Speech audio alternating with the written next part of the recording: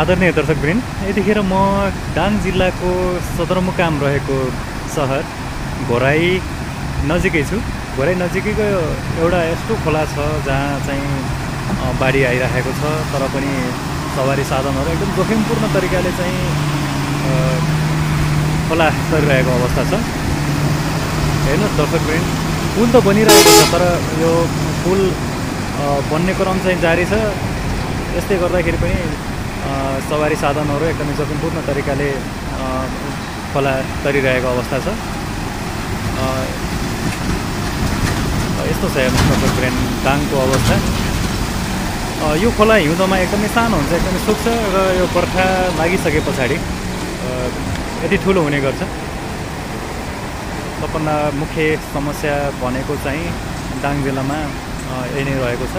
यसमा धेरै खोलाहरू छन् हिउँदोमा जो चाहिँ एकदमै सुकिरहेको अवस्था छ कुनै एउटा मिडियाले के अरे पानी मुनिको पुल भनेर पनि समाचार निकालेको देखेको थिएँ हेर्नुहोस् दर्शकवृन्द अ, यहाँ सवारी साधनहरू एकदमै लाम लागिरहेको छ साना साना गाडीहरू बाइकहरू तर्न नसकिरहेको अवस्था छ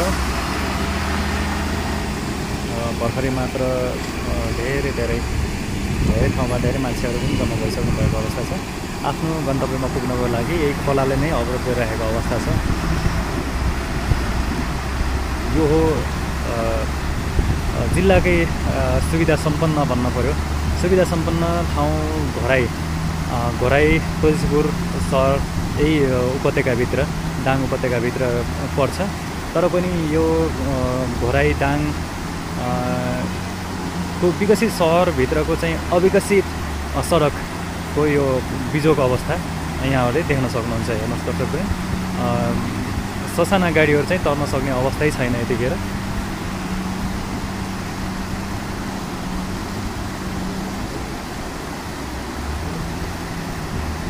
यहाँहरू हेर्दै हुनुहुन्छ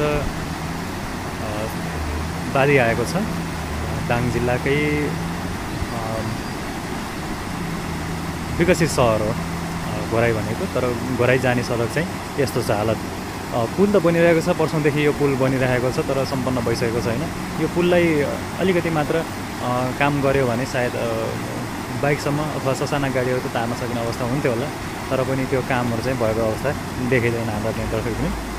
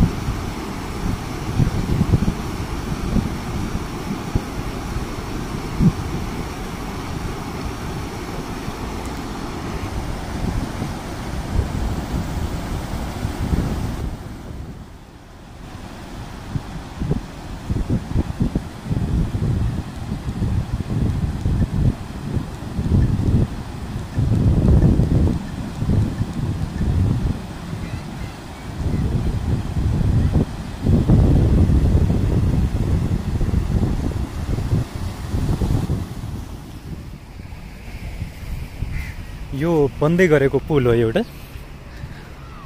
तर पूर्ण रूपमा निर्माण भइसकेको छैन। खोलामा बाढी आएको छ। वारिपारि मान्छेहरू बाढीको चाहिँ दर्शन गरिराख्नु भएको अवस्था देखिन्छ। यदि यो पुल समयमै निर्माण भइदिएको भए सायद यतिसम्म दुःख पाउनु पर्दैन थियो होला। जोखिमपूर्ण तरिकाले सवारी साधनहरू वारपार गरिरहेको अवस्था छ। बाइकहरू तर्न सकेको अवस्था छैन।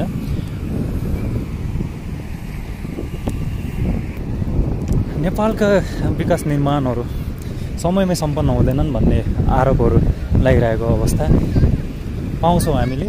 त्यो यति जोखिमपूर्ण तरिकाले अब बाइक टाइरहेको अवस्था छ।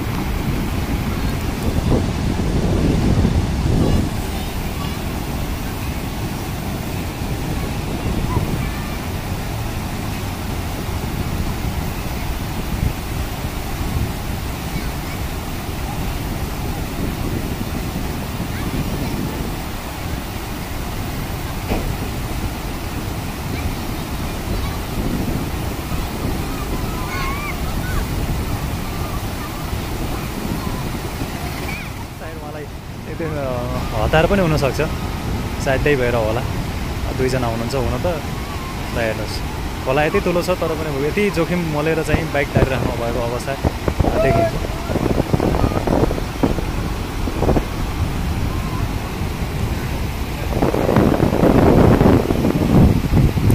तार्नु भयो सबैले तार्नुभयो दुईजना हुनुहुन्थ्यो सायद त्यही भएर राम्रोसँग चाहिँ तारेको अवस्था देखिन्छ।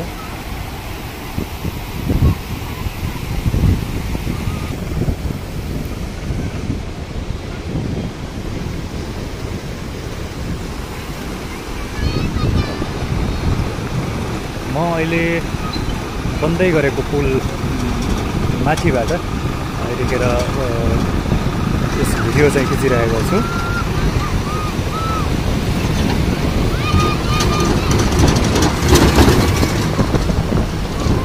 ठुला ठुला गाडीहरू त सजिलै तरेको अवस्था छ तर ससाना कारहरू बाइकहरू चाहिँ तार्न तर्न सकेको अवस्था छैन।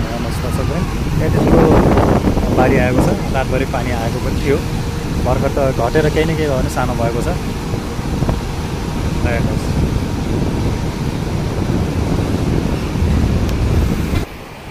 दाङ जिल्ला साँच्चीकै प्राकृतिक रूपमा सुन्दर एवं मनोरम ठाउँ हो तर पनि यहाँ खोलामा चाहिँ पुल निर्माण भइसकेको छैन। यतिखेरसम्म पुल निर्माण नभइसक्दाखेरि यतिखेर हजारौँ यात्रुहरूले चाहिँ दुःख पाइरहेको अवस्था छ।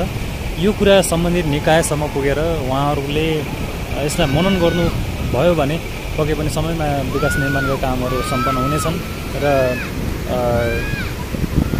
यस्ता जोखिमपूर्ण यात्राहरू चाहिँ हुने छैन किनकि आफ्नो ज्यान जोखिममा राखेर खोला तरिरहेको अवस्था छ। यी बच्चा बच्चीहरू यतिखेर स्कुल जाने अवस्था छ। धेरैजना धेरै जसो स्कुल बसहरू चाहिँ तर्ने तरिरहेको चाहिँ अवस्था छ। किनकि उहाँहरूलाई समयमै स्कुलमा पुग्नुपर्ने बाध्यता छ। अन्य पैदल यात्रुहरू त यो पुल माथिबाट तरेको अवस्था पनि देखिन्छ तर जो चाहिँ सवार साधनमा आउनुभएको छ उहाँहरू चाहिँ तर्न नसकेको अवस्था देखिन्छ। हेर्नुहोस् दर्शक पनि अब बाइक बाइक चाहिँ त्यसरी चाहिँ तारेको अवस्था छ। कति जोखिमपूर्ण तरिकाले